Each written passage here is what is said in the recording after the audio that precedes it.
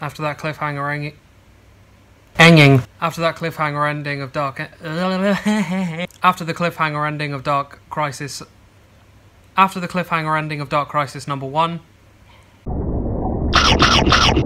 Hello, everyone, and welcome back to Piranha Comics for your weekly comic book update. If it's your first time here, what we generally do is go through the number ones of the week and any other significant issues I can think of, along with any other trade paperbacks or hardbacks I might have gotten in this week. So, first up from Ablaze, Promethea 1313 number one. I got a bit excited when I saw Sorrentino's name on it, then realised he was only doing the covers, but it is what it is. If you like sci fi stuff, give this one a shout. Astronaut Down number two.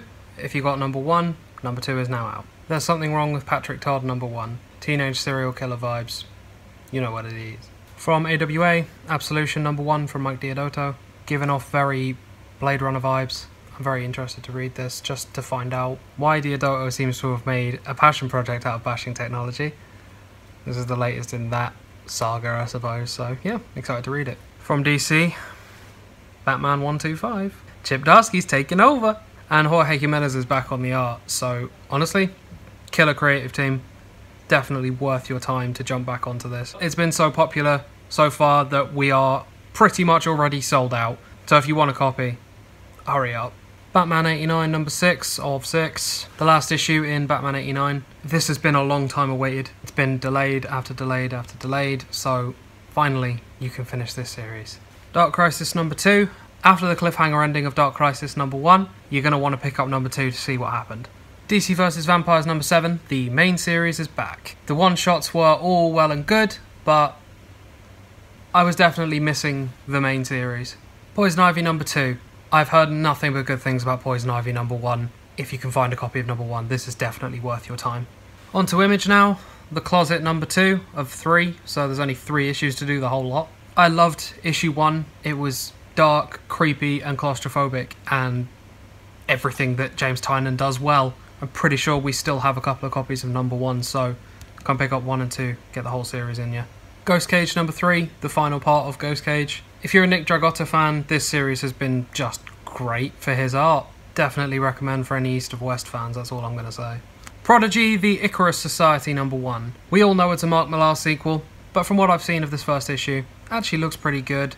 Prodigy was really cool as well, so definitely worth your time with this one. I don't know what it is about Chip Zdarsky and just making me excited to read comics, but Public Domain number one from Chip Zdarsky, entirely Chip Zdarsky, writing and art.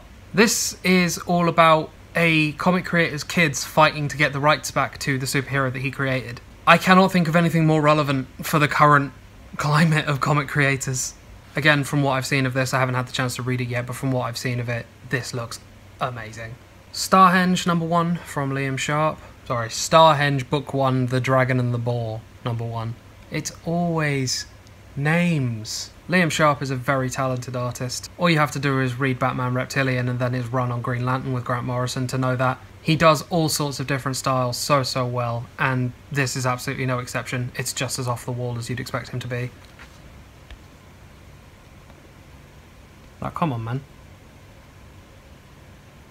You're not going to see any panel layouts like that again anytime soon. And then Slim pickings from Marvel this week.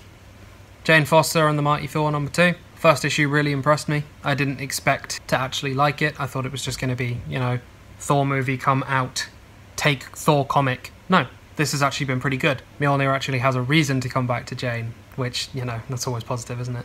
What If Miles Morales number 5, the final part of What If Miles Morales. Don't judge the whole series by issue 4, it's actually been pretty good and this is the final part, so if you missed all of it, it should be collected very soon as well. So, for our manga fans out there, we actually did get some new manga in this week, which is nice. Death Note Volume 1, this is one of the few anime that I've actually seen. Uh, I'm actually quite interested to read it and just find out if it's as good as the TV show. For DC, I have restocked on Rorschach. Anyone who is even remotely a fan of Tom King, you need to read this. It's so good, and it's one of the few Watchmen tie-ins that doesn't just completely do it dirty. It takes the world and expands on it. It doesn't try and change anything. It just keeps everything intact while adding something new. Fantastic, cannot recommend enough. For Marvel, I've had a couple of restocks as well. Alien Volume 1, Bloodlines. Alien comics were with Dark Horse for a very long time, so that just became the standard. Marvel now have the license, and I like it a lot more than I thought I would. And last but not least, Ultimate Collection of Miles Morales Spider Man Volume 1. This is as ground floor as you can get for Miles. This has his first appearance, 12 issues of his solo series, and the Spider Man miniseries all in one book. If you're looking for an introduction to Miles, look absolutely no further than this book. It is the perfect thing that you need. Ugh. I've got a big image delivery. I'm going to go through alphabetically because I don't know how else to do this. It's, it's a lot. Bone Orchard, The Pathway, so Bone Orchard Volume 1. Crossover, Volume 1. Department of Truth, Volume 1. Firepower, Volume 1. I'm so happy about this one. Friday, Volume 1. Again, I'm very happy. Geiger, Volume 1. The Last Days of American Crime. Nocterra, Volume 1. Oblivion Song, Volume 1. It looks cool. Pulp trade paperback printing. A Righteous Thirst for Vengeance Volume 1. Stillwater Volume 1. And for the Walking Dead fans out there, Walking Dead, the Alien hardcover. Image!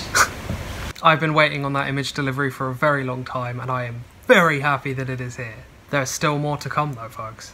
There is still more to come. So, that's it from me this week. If you like what you've seen, please leave a like. Let us know that we should keep doing what we do. I'll see you next week for more brand new comics.